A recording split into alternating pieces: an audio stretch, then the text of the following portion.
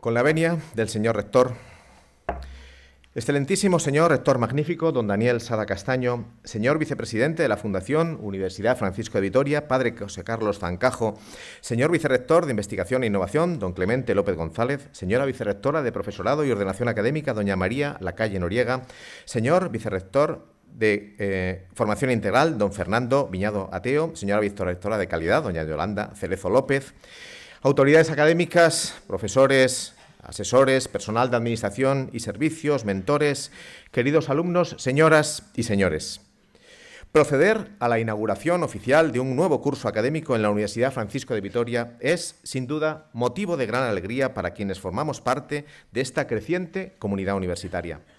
Han pasado 385 días desde que inauguramos el curso 2015-2016 y parece que un año después corresponde abrir uno nuevo, y eso es lo que todos juntos estamos haciendo. Parece lo ordinario. Y sin embargo, y de nuevo, una lectura estival hizo, le hizo pensar a este servidor de todos ustedes que a menudo pueden ocurrir hechos que se repiten de forma regular y que nos parezcan eso, ordinarios. O que igualmente nos puede suceder que entre las cosas que habitualmente nos pasan en el aula, en los pasillos, en la cafetería, en este aula magna, haya una serie de hechos que realmente son o han sido extraordinarios para alguien o para muchos de nosotros.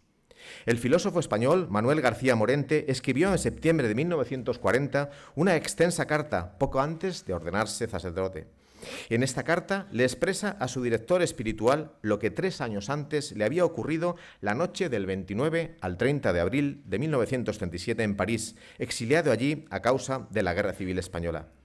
Lo acontecido esa noche lo denomina García Morente el hecho extraordinario, algo que cambió su vida, su alma, de forma radical. Muchas cosas que había visto, pensado, leído hasta ese momento, tras ese hecho extraordinario, tomaron otra dimensión en su vida. Su encuentro con la fe perdida le convirtió en una nueva persona.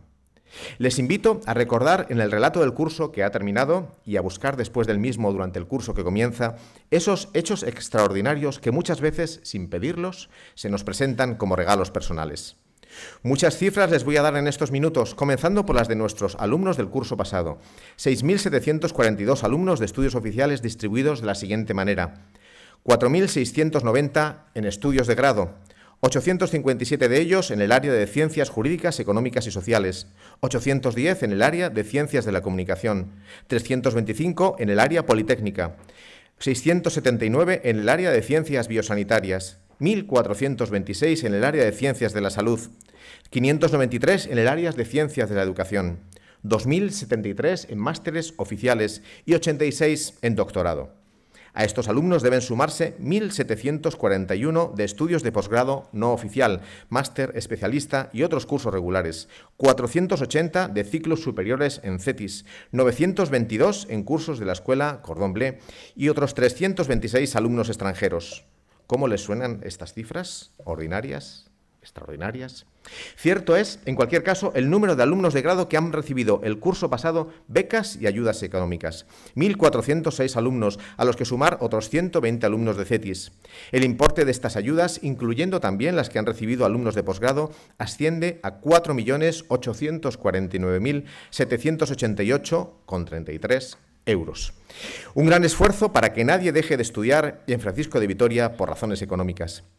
Al proporcionarles las cifras de alumnos matriculados el curso pasado, lo hacía en una división por áreas académicas, pero durante este curso la universidad ha tomado un rumbo plenamente contrastado y determina con toda claridad la organización académica de sus estudios por facultades y escuelas universitarias.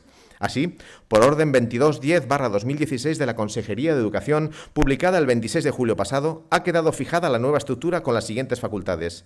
Facultad de Ciencias Jurídicas y Empresariales, Facultad de Ciencias de la Comunicación, Facultad de Educación y Humanidades, Facultad de Ciencias de la Salud, Facultad de Ciencias Experimentales y Escuela Politécnica Superior.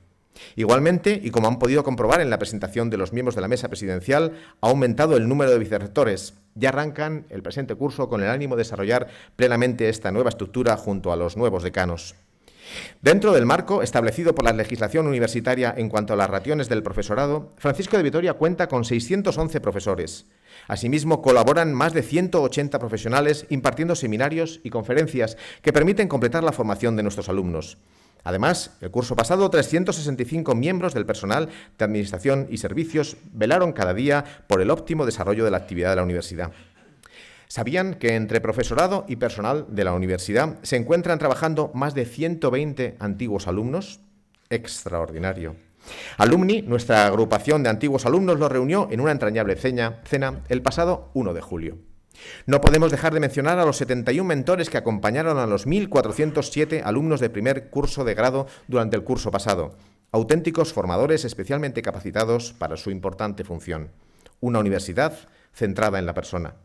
El Colegio Mayor cumplió 10 años el curso pasado y aprovechamos para nominarle como Colegio Mayor Francisco de Vitoria el día 27 de abril y cubrió por primera vez el curso pasado el total de las plazas ofertadas a nuestros alumnos, 184. De estos, 132 fueron chicas y 52 chicos, siendo 90 los veteranos y 94 los que acceden por primera vez. Tuvimos alumnos de todas las comunidades autónomas, las 17, y de Melilla. Promoción tiene un reto en Ceuta, si se me permite la sugerencia. ¿Saben cuál es la comunidad autónoma que más alumnos nos envía? Andalucía, con 39 colegiales. ¿Y conocen qué estudios cursan mayoritariamente los colegiales? Medicina, esa era más fácil. 42 colegiales. Este curso, que hoy se abre, se han ofertado y cubierto las 205 plazas disponibles. Ah, Pilar Rodríguez y José Carlos Villamuelas, formadores del colegio, son ahora igualmente subdirectores del mismo, ayudando a Agustín Ayutar en su tarea junto al resto del formidable equipo de formadores y de administración. También en el apartado de alumnos, sus sociedades siguen creciendo en número y actividad. Reseñar la victoria, por fin, de la Sociedad de Debates en nuestro torneo, en su decimoprimera estación, eh, perdón, estación no, edición, de debate universitario. BAS, Be the el grupo de teatro, la Sociedad de Maestros, Generación Empresarial, Inventarte, Corresponsales de Paz, Musgoletus han desarrollado jornadas sociales, conferencias, salidas a la naturaleza y un largo etcétera de muestras del campus vivo que se manifiesta en esta universidad. Los alumnos de la UFV, a través de sus representantes, delegados y subdelegados, colaboran en la construcción de la comunidad universitaria y más en concreto desde el Consejo de Delegados. El curso pasado, estos delegados organizaron la primera jornada alumno a profesor, tu mejor versión, celebrada el 28 de octubre y que buscó, desde la percepción de los alumnos, mostrar a los profesores 61, asistieron, incluido el señor rector, sus aspiraciones a la excelencia en la docencia. Y hablando de excelencia, debemos destacar la edición 2016 del Premio Optimus, distinción que busca reconocer al mejor alumno de la promoción que se gradúa cada curso. En esta ocasión, de nuevo se otorgó el Premio Esecuo, en este caso a don Fernando Martín Arribas, del programa Excellence, y a don Fernando Alonso Ecenarro, del grado en Medicina. La dirección de posgrado quiso este año premiar a los ganadores con la matrícula gratuita en cualquiera de los másteres oficiales que ha ofertado en este curso que hoy comienza. En el área de profesorado e investigación, ordinariamente defendían anualmente su tesis doctoral unos pocos miembros de nuestra comunidad, dos o tres. El curso 2015-2016 vio doctorarse por la Universidad Francisco de Vitoria a 13 investigadores, de los cuales la mayoría nos acompañan hoy personalmente para recibir su medalla en este acto. Los nuevos doctores Francisco de Vitoria, cronológicamente, son don José Enrique Garza Grau, don Alejandro Leal Quiñones, doña Natalia Domínguez Gay, doña Ana María del Valle Morilla, don Carlos Luis Romero Díaz, doña Sonia María González Iglesias, don Jorge Bonito Piñana, doña María del Castillo Díez, don Antonio José García Escribano Cruz, doña María Amalia del Valle Villar, doña Cristina García Leonardo Mena, don Antonio Manzano Laoz, don Eduardo Gutiérrez del Álamo. De igual forma, y en este extraordinario año, otros, otros 26 miembros de la Universidad Francisco de Vitoria obtuvieron el grado de doctor en diferentes universidades, a saber, es que esta lista es más larga.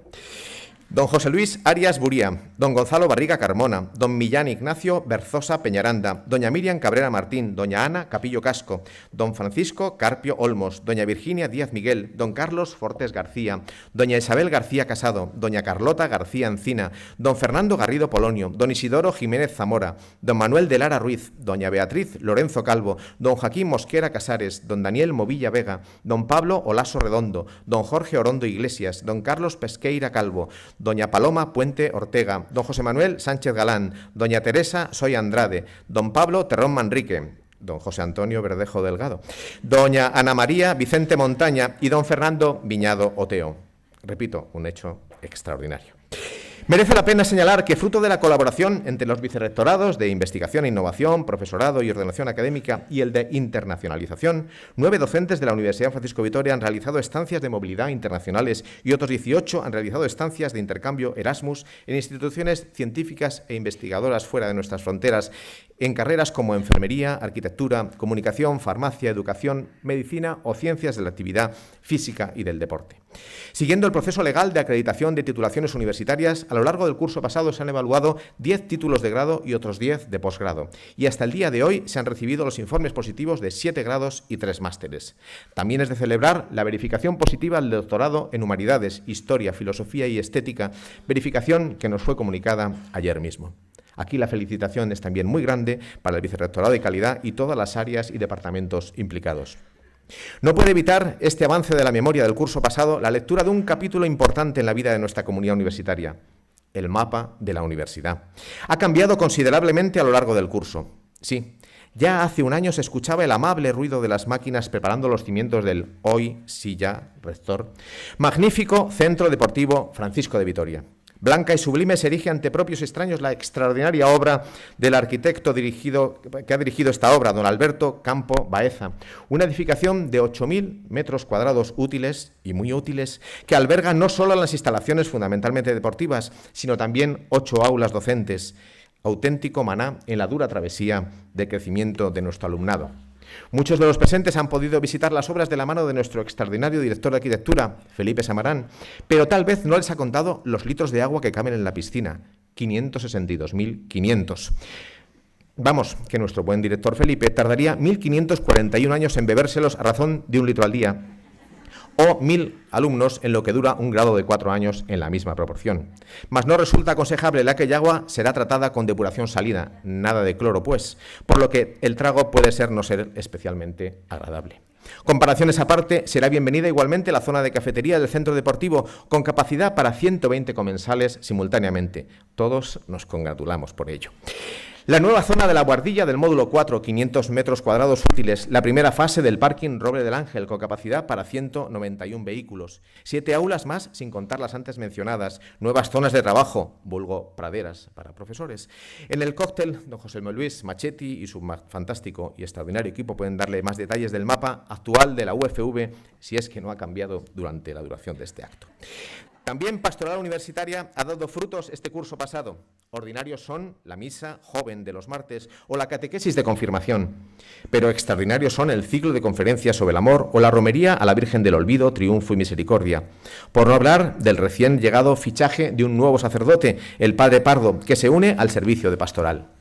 La internacionalización de la Universidad Francisco Vitoria no es solo, pero también pasa por el dominio de lenguas extranjeras y así desde el Centro de Idiomas se ha atendido el curso pasado a 2.056 alumnos, realizándose 1.784 pruebas de inglés y francés para participar en los cursos ofertados. También se ha impartido docencia en CETIS a 654 alumnos y los grados universitarios 1.417. Con la vista puesta en la visión UFV, Universidad Centrada en la Persona, surge desde el Instituto de Desarrollo Directivo Integral, nuestro querido IDI, la cátedra Irene Vázquez, Empresa Centrada en la Persona, dirigida por Susana Alonso y que se puso en marcha este curso pasado. Ya mencionamos al inicio de estas palabras el número de alumnos matriculados el curso pasado en CETIS, pero debemos señalar que también pasaron 73 de sus titulados a la universidad y que fruto del trabajo de Eduardo Abello y su equipo, en el, recién curso, el recurso recién terminado, se acaba de conseguir la autorización de la Comunidad de Madrid del modelo presentado para formación online en ciclos formativos, lo que unido a la también autorizada impartición del primer ciclo en dual, hablen nuevas vías de desarrollo en los ciclos superiores. Quiero darlos este año también cuenta de un dato que quizás muchos no conocen y que se relaciona con nuestro departamento Padres UFV, pero a la inversa. Me explico. ¿Saben cuántos alumnos hubo matriculados en la Universidad Francisco Vitoria y CETIS, y siendo hijos de empleados y profesores? Un total de 54. Y es que al final los mensajes seguimos creciendo, anunciando la venida al mundo de nuevas criaturas que nos envía Belén García desde Desarrollo de Personas, antes Recursos Humanos, otro cambio desde la misión. Fueron el curso pasado 40. 40. ¿Es un hecho extraordinario no? Actividades culturales, echó el resto del día en el, Día del Libro, en sus actividades culturales, aprovechando el 400 aniversario de la muerte de Cervantes, organizando la lectura continuada del Quijote en el campus al aire libre, al igual que un recital de poesía, presentaciones de libros y un largo etcétera. Significar igualmente el trabajo que se viene realizando desde el Servicio de Publicaciones junto a la Fundación López Quintás para la digitalización de su extraordinaria obra, cuatro de las cuales ya han sido editadas. Debe resaltarse también el extraordinario servicio prestado por el Centro de Acompañamiento Integral a la Familia, CAIF, y que gestionado por la Fundación Desarrollo y Persona ha atendido a 116 personas de forma individual y a 74 familias de forma conjunta. Muchos congresos, seminarios, jornadas organizados por la propia universidad o por otras entidades externas se han celebrado en nuestro campus.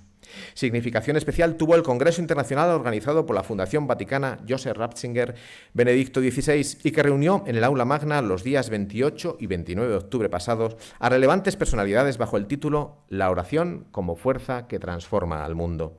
Fruto de esta colaboración es el reciente lanzamiento desde la Universidad de los premios Razón Abierta en colaboración con esta fundación y que ofrece cuatro premios con una actuación total de 100.000 euros a trabajos universitarios transdisciplinares que muestren desde su científica una apertura a un principio integrador desde la reflexión ética, antropológica y epistemológica de su ciencia particular. El último término, y como el recuerdo vive en nuestro corazón, queremos recordar en este acto solemne a aquellos miembros de la comunidad universitaria que han fallecido durante el curso pasado.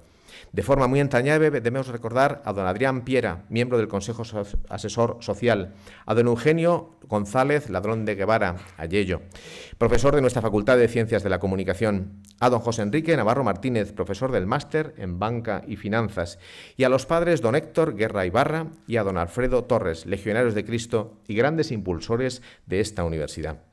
También queremos recordar, desde el cariño de sentirnos familia UFV, a familiares muy queridos de nuestro personal y profesorado que fallecieron durante este curso pasado.